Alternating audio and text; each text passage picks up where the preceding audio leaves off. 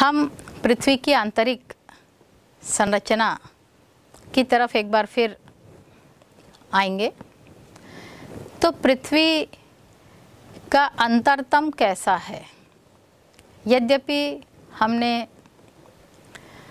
कुछ भौतिक कारक के माध्यम से, कुछ रासायनिक विश्लेषण के माध्यम से पृथ्वी के अंतरतम को जानने का प्रयास किया है। लेकिन निरंतर जो खोज हो रही हैं, इन खोजों से आधुनिक विद्वानों ने पृथ्वी के आंतरिक स्थिति को जो बताया है, वो कुछ इस प्रकार से है। पृथ्वी का ऊपरी भाग क्रस्ट कहलाता है और ये क्रस्ट की जो गहराई है लगभग 100 किलोमीटर तक होती है। क्रस्ट के नीचे का हिस्सा मेंटिल और उसके नीचे का हिस्सा कोर कहलाता है। ये जो क्रस्ट है, जैसा बच्चों मैंने अभी बताया कि धरातल जो हमारी पृथ्वी है, यह पृथ्वी मूव कर रही है, रोटेट हो रही है। इसमें घूर्णन की क्रिया या परिभ्रमण की क्रिया निरंतर होती 24 घंटे में पृथ्वी घूमती है। तो ये जो घूमने की प्रक्रिया है, आधुनिक विद्वानों का ऐसा मत है कि पृथ्वी के ऊपर की जो घूमने की गति है, उसकी तुलना में पृथ्वी के भीतरी क्षेत्र में घूमने की गति में पर्याप्त अंतर आता है। और यह जो अंतर है, ये घनत्व की स्थिति पर निर्भर करता है। केंद्र में घनत्व निरंतर बढ़ रहा है तो इसकी गति में भी परिवर्तन आ रहा है। और इसी परिवर्तन के कारण आइए हम इसको समझने का प्रयास करेंगे। तो जो सबसे ऊपरी भाग है, यह क्रस्ट का निचला हिस्सा, क्रस्ट के ही नाम से इसे हम जानते हैं। इसकी जो गहराई है लगभग 100 किलोमीटर तक की गहराई है। लेकिन जहाँ पर महाद्वीप और महासागर आपस में मिल रहे हैं, बच्चों, महाद्वीप जो है बहुत हल्के पदार्थों से बना और महासागर उससे कुछ भारी पदार्थों से महासागर का निर्माण हुआ है। यानी महाद्वीपों का घनत्व कम है, महासागरीय क्षेत्र में घनत्व कुछ अधिक है। तो महाद्वीप और महासागर निरंतर एक दूसरे से टकरा रहे हैं। इसको हम प्लेटें या प्लेट विवर्तनिकी कहते हैं। तो जहाँ पर महाद्वीपीय प्लेट के नीचे महासागरीय प्लेट टकराती है और महासागरीय प्लेट अंदर की तरफ़ घुसने लगती है तो उस घुसने, उस क्षेत्र में जो घूमने की गति है जो यह गति में कुछ अंतर, कुछ भिन्नता आ जाती है। तो यहाँ की जो भिन्नता है, इसे हम कोनरेड डिसकंटिन्यूटी या कोनरेड असांतत्यता या भिन्नता कहते हैं। यह भिन्नता महाद्वीप और महासागर की प्लेटों के पास में होती है। जैसा मैंने अभी आपको बताया कि पृथ्वी का निचला हिस्सा जो कि क्रस्ट 100 किलोमीटर की गहराई तक क्रस्ट कहलाता है। यहाँ पर जो क्रस्ट के क्षेत्र में पृथ्वी का जो क्रस्ट का जो घनत्व है, यह घनत्व कुछ बढ़ जाता है। यहाँ पर घनत्व लगभग 100 किलोमीटर की गहराई में तीन तक, तीन दशमलव पाँच तक भी पहुँच जाता है, जबकि ऊपर का घनत्व दो दशमलव पाँच, दो दशमलव सात जो धरातल का घनत्व है, उसके नीचे में दो दशमलव सात से कुछ अधिक है और यहाँ पर घनत्व लगभग तीन तक पहुँच जाता है। यहाँ पे तापमान भी निरंतर बढ़ रहा है। बच्चों, आप जानते हैं कि पृथ्वी के भीतर में तापमान बढ़ने की जो प्रवृत्ति है, यह लगभग 20 से 30 डिग्री सेंटीग्रेड पर किलोमीटर की गहराई में तापमान बढ़ रहा है। लेकिन यह पूरी गहराई तक नहीं है। यह जो प्रवृत्ति है, लगभग 40 किलोमीटर तक ही पाई जाती है। उसके बाद तापमान बढ़ता है, लेकिन तापमान बढ़ने की दर कम हो जाती है। लगभग 100 किलोमीटर का जो क्षेत्र है, यहाँ पर तापमान की स्थिति यह 800 से 1200 डिग्री सेल्सियस तक होता है। और इतना अधिक तापमान होने के कारण यहाँ पर जो चट्टाने हैं, ये चट्टाने लगभग गलनांक में यानी पिघलने की स्थिति में आ जाती है लगभग पिघल जाती है। इतने अधिक तापमान में चट्टाने पिघल जाती है। और इस, ये जो पिघली हुई चट्टाने हैं, यह चट्टाने इस क्षेत्र में बहुत ही धीमी गति से प्रवाह कर रही है। इस धीमी गति से ये जो चट्टान से निर्मित लावा है, यह प्रवाहित हो रहा है, इसे हम लो वेलोसिटी जोन के नाम से जानते हैं। ये जो लो वेलोसिटी जोन है, इसमें तापमान की स्थिति क्या है? उस पर निर्भर करता है कि ये जो लावा है यह लावा बेसाल्ट युक्त है या ग्रेनाइट युक्त है? आप जानते हैं कि बेसाल्ट कुछ पतला लावा होता है ग्रेनाइट गाढ़ा और चिपचिपा होता है। तो ये तापमान पर निर्भर करता है। यह जो क्षेत्र होता है जहाँ पर तापमान की अधिकता लगभग 100 किलोमीटर की गहराई पर, तापमान की अत्यधिकता के कारण ये जो चट्टाने पिघल गई है, इस क्षेत्र को एस्थेनोस्फियर या दुर्बलता मंडल के नाम से जाना जाता है। बच्चों, ये जो दुर्बलता मंडल है, मैंने आपको बताया था कि यह जो क्षेत्र है, यहाँ पर अम्लीय तत्वों की प्रधानता है। रेडियोधर्मी तत्व, जैसे जो, ये जो रेडियोधर्मी तत्व है, ये तत्व यहाँ पर अधिक पाए जाते हैं जो कि चट्टानों में निरंतर तोड़फोड़ की प्रक्रिया कहते हैं। थोरियम, यूरोनियम जैसे जो पदार्थ हैं, ये चट्टानों के दबने की स्थिति में चट्टानें टूटती है और टूटने से ये पदार्थों की सक्रियता यहाँ पर देखी गई है।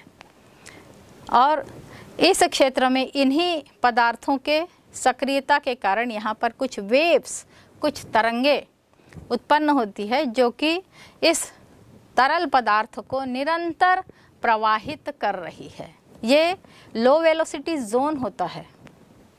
हम इसको लो वेलोसिटी जोन इसलिए भी कहते हैं कि जब यहाँ पर भूकंप की जो प्राथमिक तरंगे है प्राइमरी वेव्स है, ये इस क्षेत्र से टकराकर धीमी हो जाती है। क्योंकि तरल यह क्षेत्र है और तरलता प्राथमिक तरंगे जो है वो सीधी चली आती, लेकिन यहाँ पर टकराने के बाद इनकी गति कुछ धीमी हो जाती है।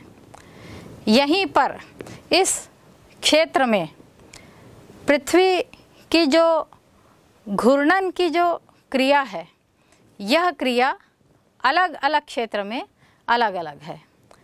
जहाँ पर ये जो लो वेलोसिटी जोन है, इसके ऊपर का जो क्षेत्र है, यहाँ पर जो तरंगों की गति है, सात दशमलव दो किलोमीटर प्रति सेकंड की गति से ये तरंगे प्रवाहित हो रही है।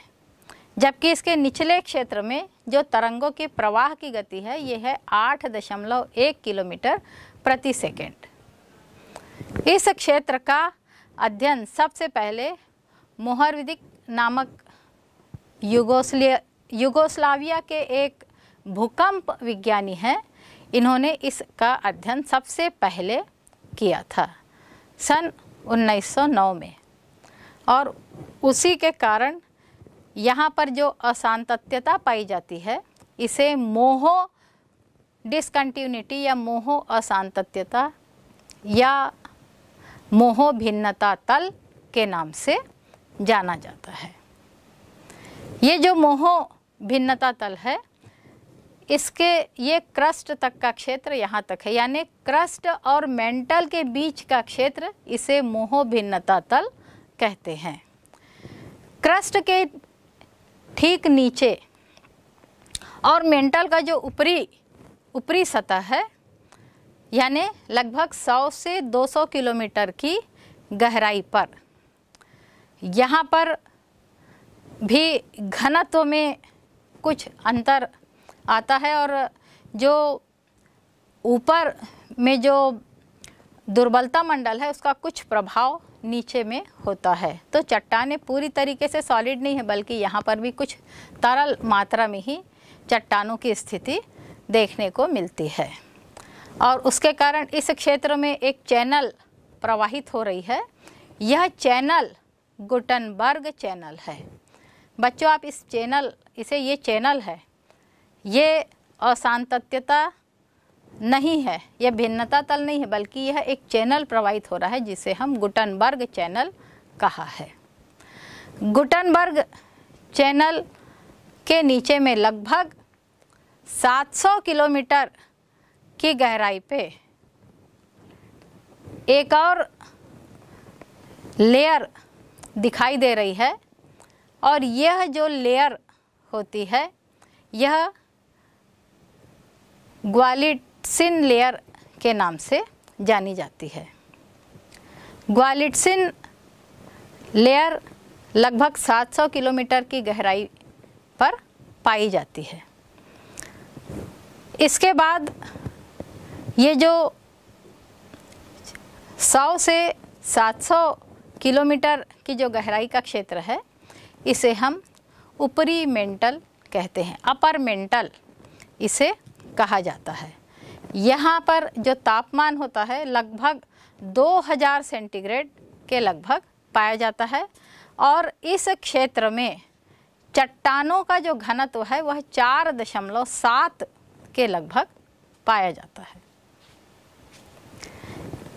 अपर मेंटल यानी 700 किलोमीटर की गहराई के बाद लोअर मेंटल प्रारंभ होता है। और ये जो लोअर मेंटल है यह 700 से उनतीस सौ किलोमीटर की गहराई तक पाया जाता है। एक विस्तृत क्षेत्र में यहाँ पर द्रव्यमान भी अधिक होते हैं तो इस वृहत क्षेत्र में ये लोअर मेंटल पाया जाता है। लोअर मेंटल में 700 से हज़ार किलोमीटर की जो गहराई है यहाँ पर एक और डिसकंटिन्यूटी का क्षेत्र बनता है, जिसे रेपिटी डिसकंटिन्यूटी कहा गया है। यह हज़ार किलोमीटर की गहराई पे देखा गया है। इसके बाद लगभग 2780 किलोमीटर की गहराई में एक और डिसकंटिन्यूटी का अध्ययन किया गया है, जिसको हम डाहम डिसकंटिन्यूटी डाहम अशांतत्यता या भिन्नता तल कहते हैं। ये जो लोअर मेंटल का क्षेत्र है, ये 2900 किलोमीटर की गहराई पर है। 2900 किलोमीटर के कुछ ऊपर का जो क्षेत्र है, यह पूरी तरीके से सॉलिड नहीं है, बल्कि यह सेमी सॉलिड हम इसे कह सकते हैं, या स्लरी की भांति है, एक लद्दी जैसा दलदल होता है ना, उस प्रकार की स्थिति यहाँ पर पाई जाती है। और इस क्षेत्र में जो डिसकंटिन्यूटी है, इसे गुटनबर्ग डिसकंटिन्यूटी कहते हैं। बच्चों, मैंने यहाँ पर कहा गुटनबर्ग डिसकंटिन्यूटी और इसके पहले मैंने लगभग 100 से 200 किलोमीटर की गहराई में एक चैनल का उल्लेख किया, इसका भी नाम गुटनबर्ग का है। तो दोनों में अंतर है। एक चैनल है और एक जो है, यह डिसकंटिन्यूटी या भिन्नता तल यहाँ पर है। तो एक यहाँ पर जो 2900 किलोमीटर की गहराई पर है, इसे हम कहते हैं गुटनबर्ग भिन्नता तल या गुटनबर्ग डिसकंटिन्यूटी इसे कहा गया है। 2900 किलोमीटर की गहराई के बाद जो निचला हिस्सा होता है, यह कोर कहलाता है। कोर को भी दो पार्टों में बांटा गया है, अपर कोर और लोअर कोर। जो अपर कोर है, यहाँ पर चट्टानों का जो घनत्व निरंतर बढ़ता चला जा रहा है, कोर के पास जो घनत्व है, यह लगभग 12 है। जबकि जो अपर मेंटल है, इसका घनत्व पाँच दशमलव पाँच के लगभग देखा गया था। कोर का घनत्व अपर कोर का घनत्व जो है, यह 12 है और अपर कोर 2900 किलोमीटर से लेकर के इक्यावन किलोमीटर तक की जो दूरी है, यह अपर कोर की होती है। अपर कोर के नीचे में पृथ्वी के केंद्र तक यानी सतह से लगभग 6,371 किलोमीटर की जो गहराई है इसे लोअर कोर कहा गया है। और इस लोअर कोर के क्षेत्र में तापमान लगभग 4500 डिग्री है जबकि अपर कोर का जो तापमान है यह लगभग 3000 डिग्री तक पाया जाता है। बच्चों, मैंने आपको बताया था कि सतह से धरा केंद्र तक, पृथ्वी के केंद्र तक तापमान निरंतर बढ़ रहा है। सतह के नीचे में तापमान बढ़ने की जो प्रवृत्ति है, जैसा मैंने अभी बताया था कि लगभग 20 से 30 डिग्री तापमान जो है, प्रति किलोमीटर की गहराई में बढ़ता है, लेकिन यह स्थिति 40 किलोमीटर तक ही होती है। 100 किलोमीटर में तापमान कितना हो जाता है? 8000 से 12000 यानी चट्टानों की गलनांक अवस्था आ जाती है। इसके बाद तापमान में निरंतर वृद्धि हो रही, लेकिन यह वृद्धि दर कम है। तापमान बढ़ रहा है, लेकिन तापमान बढ़ने की जो दर है, यह घटते क्रम में देखी गई है। और केंद्र का तापमान जो है, यह पैंतालीस सौ डिग्री सेंटीग्रेड होना चाहिए। है? तो इस प्रकार से केंद्र का तापमान सर्वाधिक है, लेकिन फिर भी यहाँ पर जो लोहा या फेरियम के जो तत्व पाए जा रहे हैं, यह सर्वाधिक यहाँ पर लोहा या निकल ये जो है, ये सबसे अधिक मात्रा में यहाँ जमा है। इसका घनत्व जो है लगभग सत्रह पाया जाता है। और इसी लौह तत्व की उपस्थिति के कारण पृथ्वी में जो चुंबकीय शक्ति पाई जाती है, पृथ्वी में जो परिदृढ़ता पाई जाती है, स्थिरता स्थिरता मैंने गति के संबंध में बताया था कि परिक्रमण में सूर्य की जब पृथ्वी चक्कर लगा रही है तो एक निश्चित कक्ष में चक्कर लगा रही वहाँ स्थिर है वह। कक्ष उसका स्थिर और वहीं से पृथ्वी घूम रही है। वैसे ही पृथ्वी जो रोटेशन कर रही तो उसकी गति में स्थिरता है वो 24 घंटे में ही एक पूरा जो परिभ्रमण करती है। तो ये पृथ्वी की स्थिरता इसे हम कहते हैं। पृथ्वी के अंदर पाई जाने वाली कठोरता और इसमें पाए जाने वाला गुरुत्व बल, यह सभी इस केंद्र से प्राप्त होता है। तो इस प्रकार से जो पृथ्वी का जो केंद्रीय भाग है, ये अत्यधिक दबाव के कारण, ताप भले ही अधिक है, लेकिन अत्यधिक दबाव के कारण यह दुर्बल नहीं है या तरल अवस्था में नहीं है, बल्कि यह कठोर अवस्था में सॉलिड स्थिति में पाया जाता है। तो इस प्रकार से पृथ्वी का जो आधुनिक मत है, इस मत का अध्ययन हमें बहुत कुछ भूकंप विज्ञान के माध्यम से प्राप्त हुआ है और यह पृथ्वी के आधुनिक स्थिति को, पृथ्वी के अंतरतम की आधुनिक स्थिति को दर्श, इसके बाद लगभग 2780 किलोमीटर की गहराई में एक और डिसकंटिन्यूटी का अध्ययन किया गया है, जिसको हम डाहम डिसकंटिन्यूटी डाहम अशांतत्यता या भिन्नता तल कहते हैं। ये जो लोअर मेंटल का क्षेत्र है, ये 2900 किलोमीटर की गहराई पर है।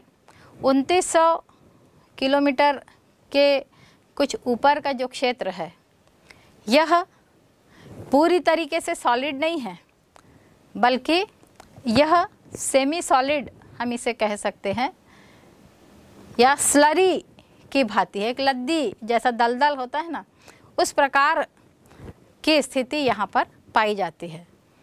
और इस क्षेत्र में जो डिसकंटिन्यूटी है, इसे गुटनबर्ग डिसकंटिन्यूटी कहते हैं। बच्चों, मैंने यहाँ पर कहा गुटनबर्ग डिसकंटिन्यूटी और इसके पहले मैंने लगभग 100 से 200 किलोमीटर की गहराई में एक चैनल का उल्लेख किया, इसका भी नाम गुटनबर्ग का है। तो दोनों में अंतर है। एक चैनल है और एक जो है, यह डिसकंटिन्यूटी या भिन्नता तल यहाँ पर है। तो एक यहाँ पर जो 2900 किलोमीटर की गहराई पर है, इसे हम कहते हैं गुटनबर्ग भिन्नता तल या गुटनबर्ग डिसकंटिन्यूटी इसे कहा गया है। 2900 किलोमीटर की गहराई के बाद जो निचला हिस्सा होता है, यह कोर कहलाता है। कोर को भी दो पार्टों में बांटा गया है, अपर कोर और लोअर कोर। जो अपर कोर है, यहाँ पर चट्टानों का जो घनत्व निरंतर बढ़ता चला जा रहा है, कोर के पास जो घनत्व है, यह लगभग 12 है। जबकि जो अपर मेंटल है, इसका घनत्व पाँच दशमलव पाँच के लगभग देखा गया था। कोर का घनत्व, अपर कोर का घनत्व जो है, यह 12 है और अपर कोर 2900 किलोमीटर से लेकर के इक्यावन सौ पचास किलोमीटर तक की जो दूरी है, यह अपर कोर की होती है। अपर कोर के नीचे में पृथ्वी के केंद्र तक यानी सतह से लगभग 6,371 किलोमीटर की जो गहराई है इसे लोअर कोर कहा गया है। और इस लोअर कोर के क्षेत्र में तापमान लगभग 4500 डिग्री है जबकि अपर कोर का जो तापमान है यह लगभग 3000 डिग्री तक पाया जाता है। बच्चों, मैंने आपको बताया था कि सतह से धरा केंद्र तक, पृथ्वी के केंद्र तक तापमान निरंतर बढ़ रहा है।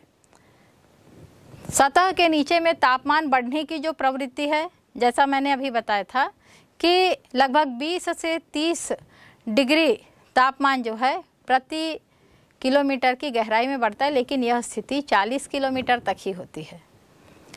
100 किलोमीटर में तापमान कितना हो जाता है? 8000 से 12000 यानी चट्टानों की गलनांक अवस्था आ जाती है। इसके बाद तापमान में निरंतर वृद्धि हो रही, लेकिन यह वृद्धि दर कम है। तापमान बढ़ रहा है, लेकिन तापमान बढ़ने की जो दर है, यह घटते क्रम में देखी गई है। और केंद्र का तापमान जो है, यह पैंतालीस सौ डिग्री सेंटीग्रेड होना चाहिए। है।